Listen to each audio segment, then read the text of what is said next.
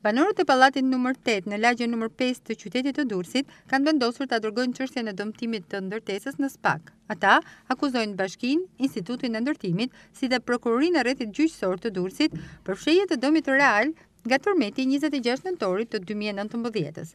Pallati është klasifikuar i banueshëm me një nivel dëmi DS dy Në një kohë kur animi i godinës është përcaktuar nga ekspertët pesëdhjetë e një centimetra, përfaqësuesi i banorëve thotë se do t'i drejtohen SPAK, pasi deri tani nuk kanë marrë asnjë zgjidhje nga institucionet. Duan të ngelet pallati jonë me DS dysh, të futemi brenda dhe të mbarojë ky problem nga ana e institucioneve. Por dhe ne nuk futemi brenda.